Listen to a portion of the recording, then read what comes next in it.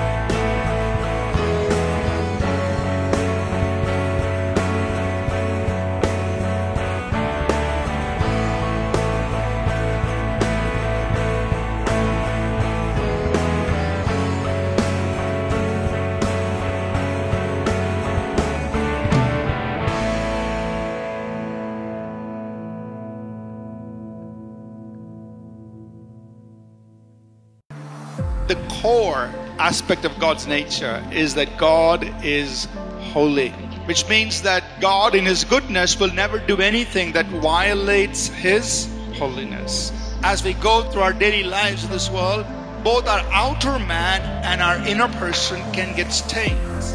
Hate and anger, jealousy, and pride, and lust, and all kinds of things that, that, that are filthiness of the inner man. But he says, I am the Lord your sanctifier. I will work in your life to sanctify you, which is to make you holy. God says, I will do that in your life.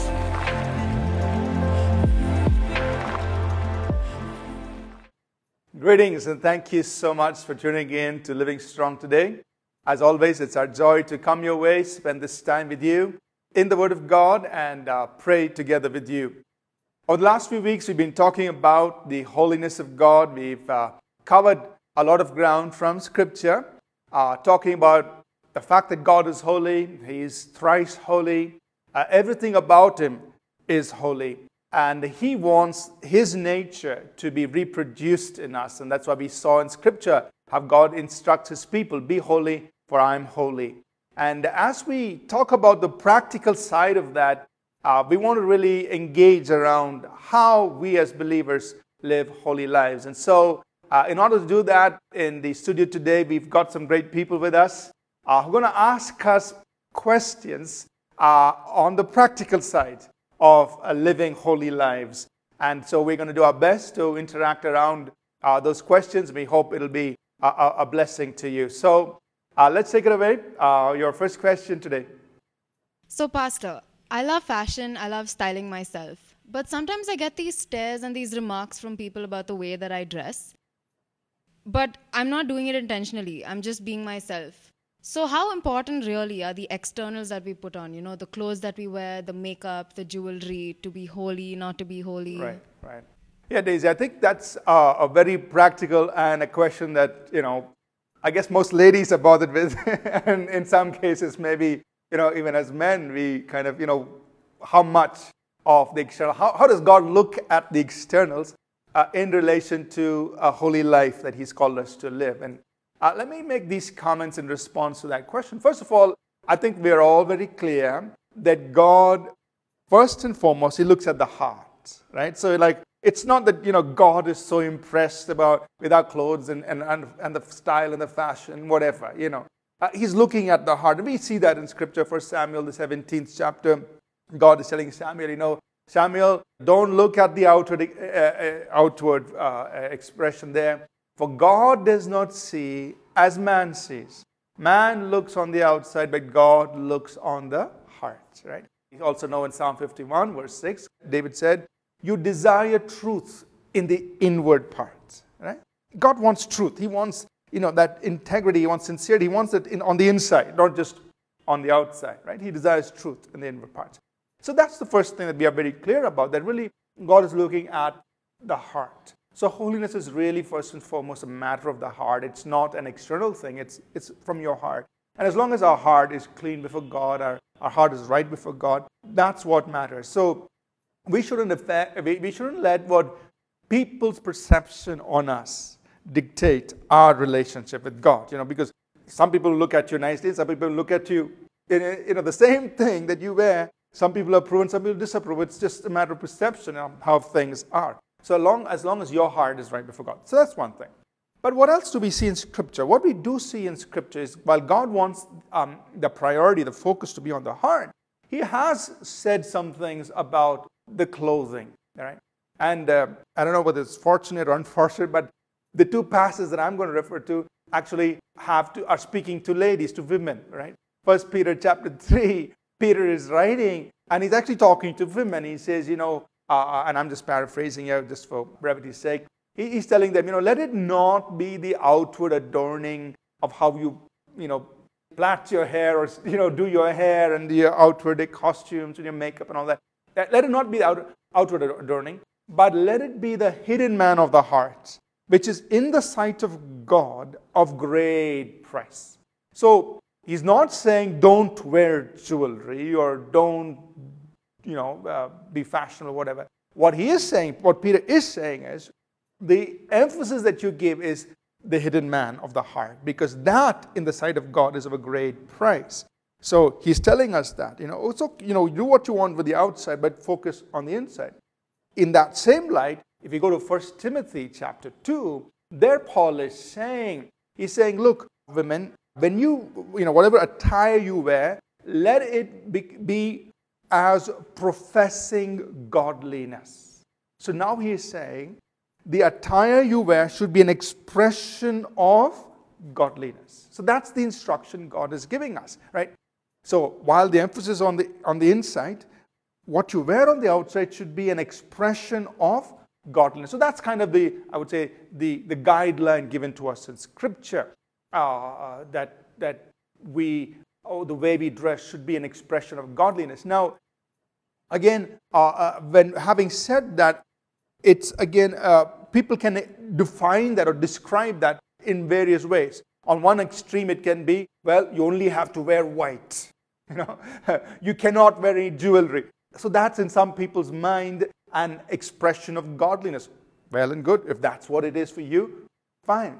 But it, to bring that into context, I will, I'll refer to Romans, the 14th chapter, where in Romans 14, Paul is writing about things like, you know, what food you eat. And he's talking about uh, observing one day versus another day. He says, you know, some people consider a certain day very holy. For other, for other people, all days are the same. You know, it doesn't matter. Some people like to eat certain kinds of food, and some people don't like to eat certain kinds of food. So then, in that passage in Romans 14, and I'll just make this point this out. What Paul essentially says is, "Who are you to judge another man's servant?" In other words, you don't judge another person in what day of the week they observe or they, whether they observe or no, don't observe. You don't judge another person in what they eat and don't eat. He says, let every man be fully persuaded in his own mind. That means you make up your mind what if you're going to observe a day or not, if you're going to eat this or not. The only guideline he says is don't do anything that causes a weaker brother. That means somebody who's new to the faith to stumble. That means don't do something that will weaken the faith of another believers. That's the rule, uh, that guideline that God has given. So, how do we put all this together? I know we started off talking about clothing and now we're talking about other things here, but the, the truth is the same. That is, focus on the heart. You wear whatever you want to wear, which is an expression of godliness, and don't judge others. Because as long as they feel that what they're wearing is their expression of godliness, fine. Because you may or may not agree with that. Right? You may or may not agree with that. Your perception may be different. Don't judge them because he is standing before God, right? And uh, so don't judge what you don't understand. And that's where I would, you know, that's how I would respond to your question. Good, good question. All right, let's go on to the next one. Any? So, Pastor, as I was growing up, anyone who did anything right was considered a holy Joe or a Jesus freak. And so sometimes I would tend to avoid doing those things which were right. So, what would your advice be to young people who face the same kind of pressure?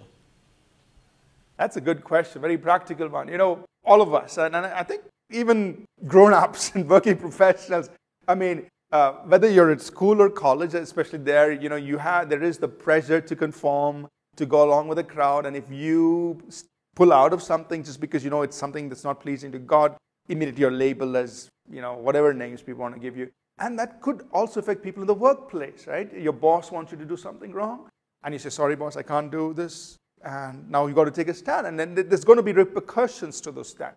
So, how do we respond to that in our pursuing of living holy before God? How do we respond to this situation? The first thing I would say is God honors those who honor Him, right? So, uh, First Samuel, the I think it's uh, First Samuel chapter two, verse thirty. God is speaking to Samuel. He's saying, Samuel, be it far from me. Those who honor me, I will honor. So the first thing is, is always look for honor that comes from God, not the thing that comes from man. You know, and Jesus taught us that. He says, you know, you seek the honor. In John 5, he tells the Pharisees, he says, you seek the honor that comes from God, and not the honor that comes from man. And in fact, in John 12, you know, Jesus rebukes the Pharisees, or he, he, John, John makes this statement. He says, these people, the Pharisees, they, some of the Pharisees actually believed in Jesus, but they didn't want to come out and tell people about that because, he says, they love the praises of men more than the praises of God. So they're like undercover believers, you know. they didn't want to acknowledge that, uh, you know, that they wanted to, that they believed in Jesus. So here's the thing. You seek the honor that comes from God. For you and I, the applause of heaven is more important than the accolades of man. That's what we live for, the applause of heaven, right? So, God, I'm going to honor you. Even if all my friends ridicule me, I know you put your seal of approval on me. That's what matters. So, that's the first thing. You honor God. Second thing I would say in response to that is, you know, your testimony will leave a lasting impact on their lives. You know, I remember what happened to me in college. I, was, I mean, I had a roommate going to college, and uh, you know, we were total opposites. I was this person who was trying to live a holy life, and he was like, he was a champion. He won the uh, cigarette smoking champion in college, and he's my roommate. You know, and we're happy, good friends, but we're total extremes. You know, and but we're good friends in college. And you know, so we graduated and we went our separate ways. And I, re- I remember about two years after we left college, I get a call from him one evening, and he says, Ashish, and this, these are what he said. He said, Ashish, the life you lived still speaks to me.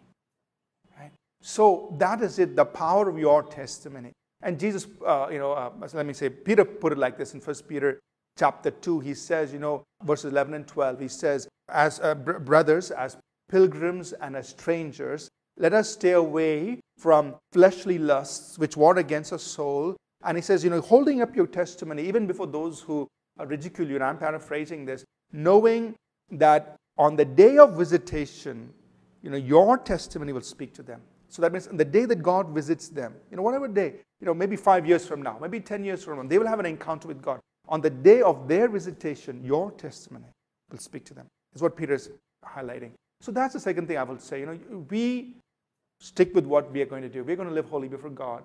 We know our honor comes from God, and we know the testimony we live, we leave behind will impact them some point in the future.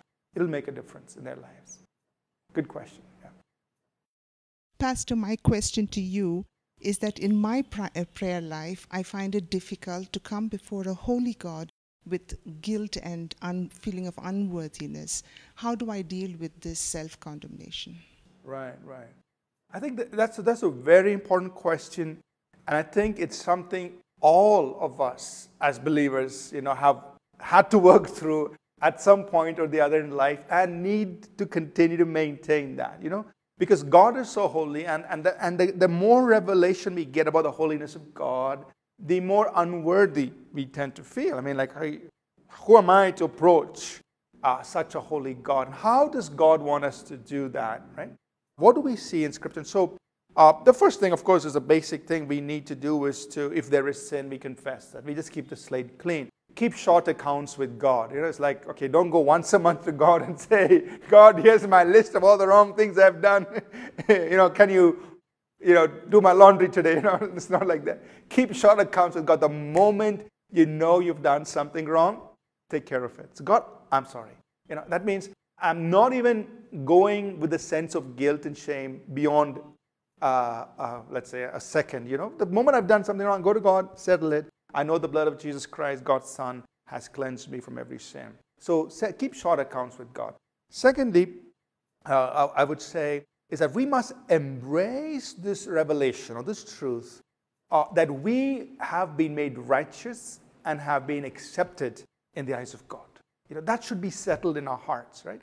It's like what Paul says in Romans 5, verse 1 and 2. He's saying, having been justified freely by his grace we have peace with God through our Lord Jesus Christ. And we stand in this grace. Right? So, He has made us righteous. We have peace with God, which means we are friends with God, and we are standing in this place of grace. That's got to be said. I am in a place of grace. I have been made right with God, and I have a good, I've been made, you know, i am at peace with God. That's, that's my standing as a believer. That will never change, even though I make a mistake. And that will not change. And so I embrace that. Or like Paul puts it in Ephesians 1 of verse 4, he says, He has chosen us to be uh, in Him before the foundation of the world, that we should be holy and blameless in His eyes. So that's your standing. You are holy and blameless in His eyes. So that should be settled in your heart, right? And, and we, we, we embrace that. So First, keep short accounts with God, embrace this truth. The third thing is this fight thoughts of condemnation. Right? So the thoughts of condemnation, of guilt and shame will come.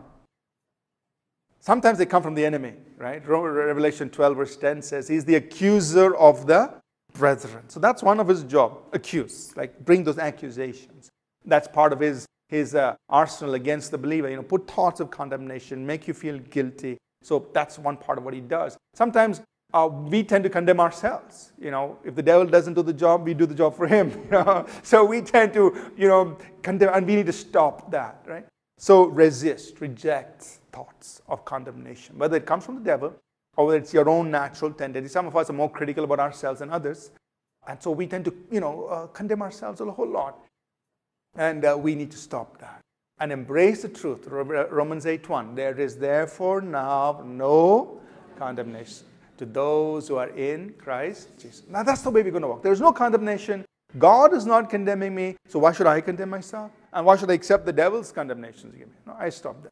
So that's the third thing I would say. You know, we should stop these thoughts of condemnation by saying, No, I'm holy, beloved, accepted in the eyes of God. Very good. I think we might have time for one quick question before we close. Anyone else? Pastor, what is the difference between being holy and being disciplined? If I read the Bible, if I pray and have my daily devotions, is that enough or is there more to it? All right, that's a good question, right?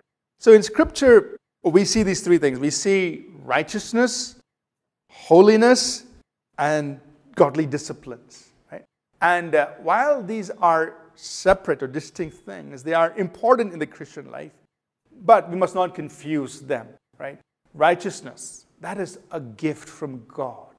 It's not, doesn't come because I read my Bible today or because I prayed an hour today. No. Whether I read my Bible or not, if I'm a believer, I am righteous. I'm accepted and approved in His eyes. That's always a gift. And sometimes we confuse disciplines with righteousness, and that's a mistake. You know, we confuse that. No, keep it separate. Righteousness is what God has given to you as a gift. Right? Now, holiness is our that outworking of that righteousness. It's a process. It's a journey we are making. It's a growth process. That means we are growing from glory to glory. From we're becoming more and more like Christ. Now, to aid in that journey is where these spiritual disciplines come in. So we have these disciplines. He's told us, you know, that when we read the Word of God, His Word purifies our lives. When we spend time in His presence, then we become like unto Him. Right? What's on Him rubs off on us. So these godly disciplines of prayer, holiness, they help us in this journey of holiness. But the mistake we should avoid is wearing these disciplines as a badge of honor. You know, like, hey, today I read three chapters from the Bible. hey, uh, I'm better than you. No, these are not, you know, stars that we pin on our clothing and walk around as though we are better than other people. No, the disciplines are things we do in order to grow in holiness. While the disciplines are important because they're, uh, they're part of this process, this journey, the disciplines but must never be confused with our standing before God or it must never be confused as us being better than other believers. In God's eyes, we're all equal. Yeah, we're all on level ground. So I can't say, God, I'm better than so and so and better than so and so because, you know, I'm doing so much more than this. No, it's only going to help me in my walk before God. So uh, disciplines are important, but we must keep them in the right perspective. And we must work on them. And God will give us the grace. Anyway, it's He who gives us the grace to pray. It is He who gives us the grace to understand His word. You know, it's nothing of our own. We only make ourselves available. All right, I think our time is up, and we're going to uh, uh, get ready to close the program. And I hope those of you watching us uh, enjoyed our, our time of interaction. We'd like to spend a few moments in prayer with you uh, before we go. Let's join our hearts in prayer. Father, we thank you for this time together. Uh, we just pray for those who've been watching and listening to our interaction. We pray the truths we shared will bring them freedom, will bless their hearts, and will empower them in their walk with you. Thank you for this time, Father. In Jesus' name, amen.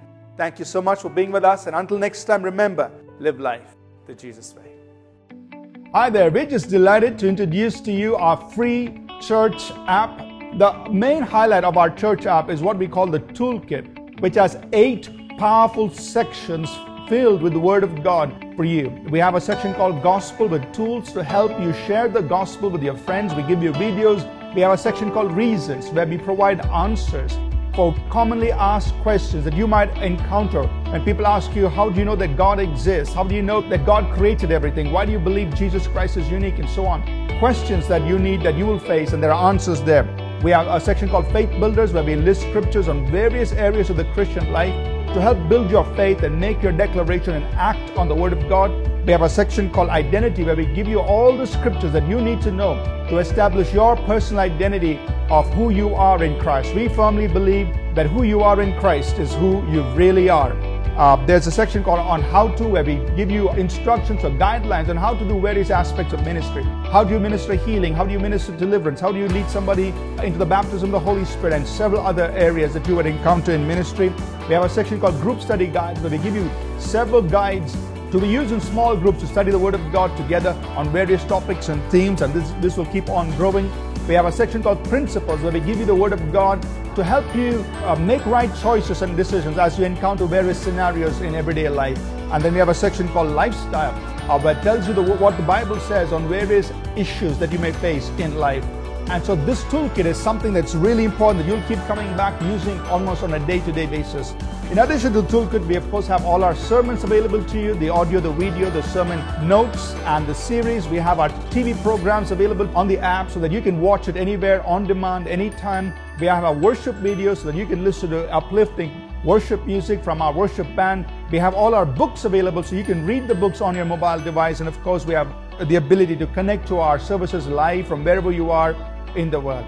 So make sure you head out to the app or Google Play stores, search for All People's Church Bangalore, download the app right away. Enjoy the journey. I'm sure it's going to be a great blessing to you.